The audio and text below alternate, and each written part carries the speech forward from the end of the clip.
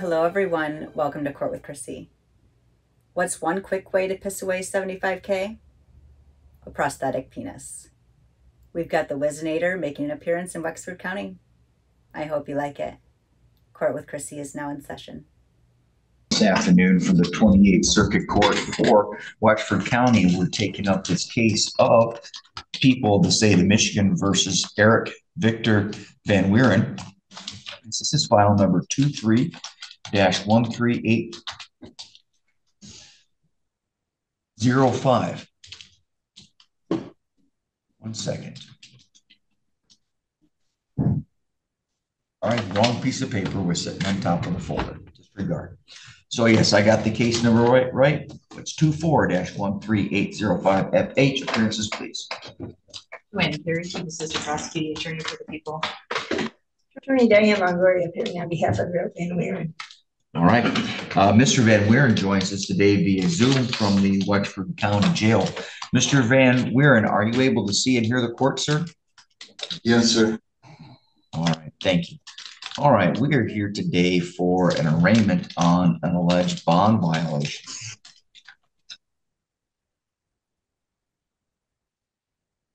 The defendant is currently out on bond on a case involving a charge of possession with intent to deliver methamphetamine as a second or subsequent, as well as an alternative uh, habitual offender second, and an alleged assault resist destructive police officer. Looks like the defendant posted a bond of $75,000 and is required to um, no alcohol, and then no illegal or controlled substances with random testing four times a month. But that, of course, was changed to being random and not limited four times a month once the case was bound over. The allegation is here is that the defendant tested positive today for use of the controlled substance methamphetamine and also uh, for attempting to circumvent the testing process and procedure due to the use of a fake penis and urine uh, hidden in its lower groin area. Uh, Mr. Van Wieren, you have the right basically to challenge this allegation.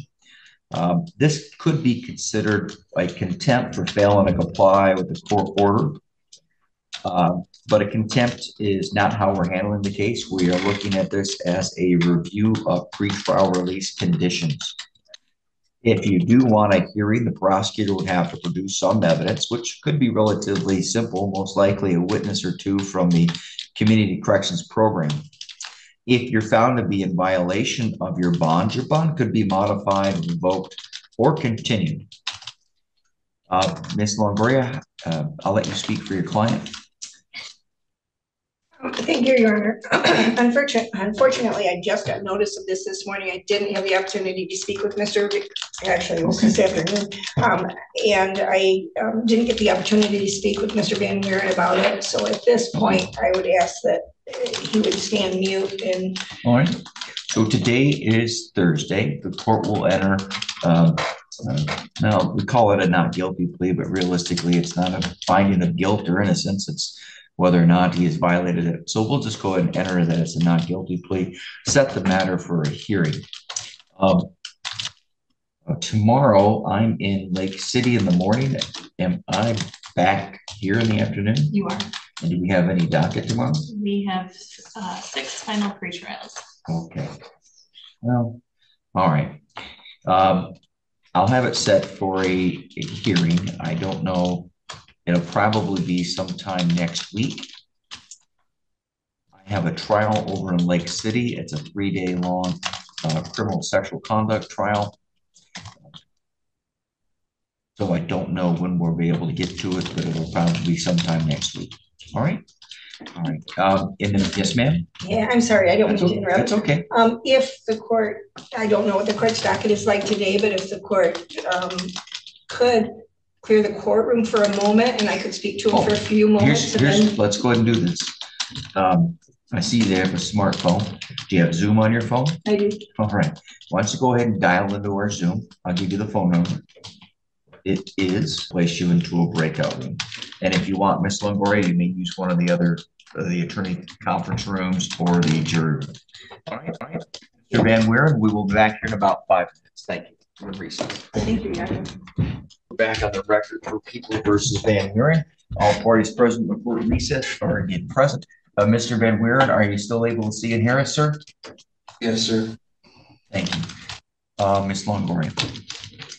I have the opportunity to speak with Mr. Van Weeren, and at this point, he is willing to make a no contest plea to the bond violation.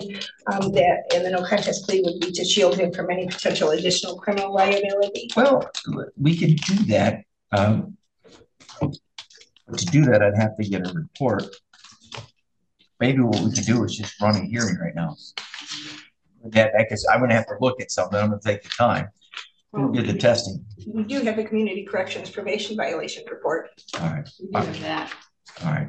Why don't you go ahead and mark that, um, Ms. Carey. All right, Mr. Van Weeren, I'm told today you're not really going to contest this allegation. Is that right, sir? Yes, sir. All right. So you don't need to make an admission. An admission might in effect get you into trouble criminally, and that's okay. I'm sorry. I didn't mean it that way, the way it sounded. What I meant is, uh, you don't need to make an admission, and I respect the fact that you don't want to. But I will also note that the rules of evidence do not necessarily apply at a probation violation hearing. Which means, which is Michigan Rule of Evidence eleven oh one. I think it's paragraph two, but don't quote me on that part. I now have what's marked as uh, plaintiff's exhibit number one. Uh, Ms. Carey, you're asking the court to accept it. I am. Ms. Longoria, any objection from the defense? No objection, Your Honor. All right, thank you. All right, the court uh, therefore admits People's Exhibit Number One. This is the uh, petition regarding bond that was filed earlier today.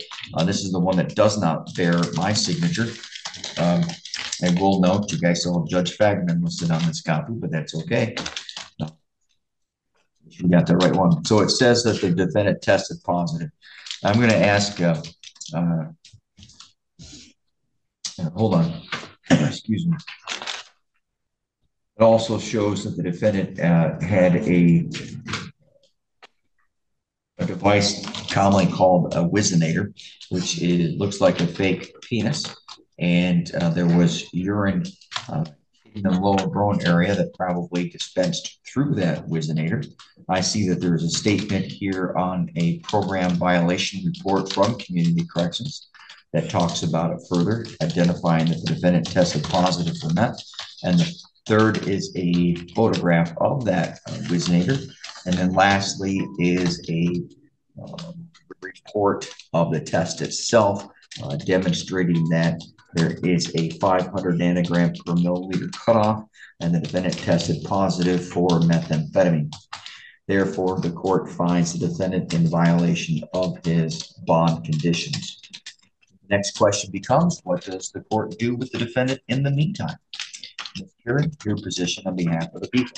Thank you, Your Honor. People are going to request a remand. This is Mr. Van Weeren's second violation for testing positive for methamphetamine. He tested positive on February twenty-seventh and was lodged on March tenth. He was released to treatment, which he was released from treatment on April tenth.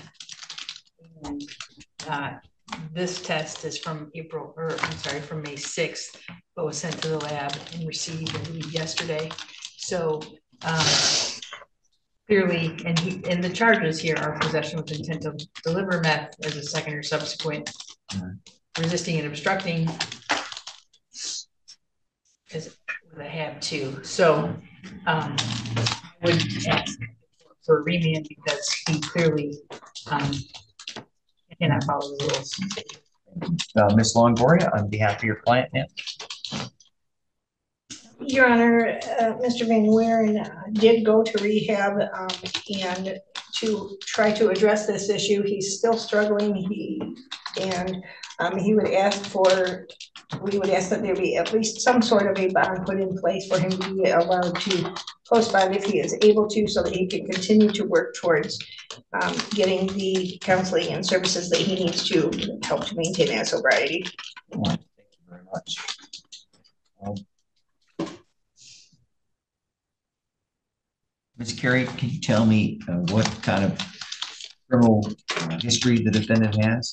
Uh, I see obviously there was a maintained a drug house conviction back in two thousand and five.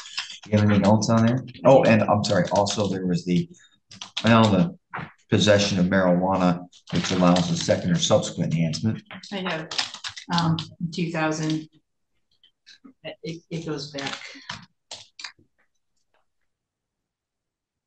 Two thousand juvenile adjudication for, um, larceny from a motor vehicle, two thousand one. Operating while impaired, two thousand two, possession of marijuana. Two thousand five, maintaining a drug house, two thousand six, possession of marijuana. Two thousand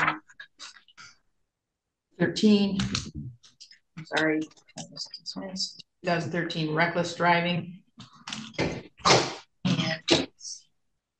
And two thousand fourteen retail fraud. Tenth retail fraud third. 2017, 2016, receiving and concealing stolen property, two hundred to thousand. Um, That's what I show. Well, uh, the court here looks at, let's do some discussion. Um, The defendant either had the methamphetamine and then used it, or has twice gone out and obtained methamphetamine and used it based upon the two bond hearings or bond violations that stretched out over three months. Which means uh, contributes to supplying in the community. And that gives the court some concern for the community because demand can only go, I'm sorry, supply can only go where there's a demand. And by making a demand for it, uh, it encourages that the substances be delivered and supplied in the community, which gives the court concern for the safety of the community. The court also is concerned for the safety and health of the defendant if he is continuing to use, especially even after um, attending the program, uh, the court is very concerned uh, defendant, uh, using substances and therefore could hurt himself. Uh, the court is also concerned here that we have issues of attempting to uh, fake out the testing program and testing personnel. Uh, he obviously knew he had used and uh, had come prepared uh, to defraud the system, I guess is the right word. Therefore, the court is going to revoke bond, remand the defendant to the custody of the Wexford County Sheriff.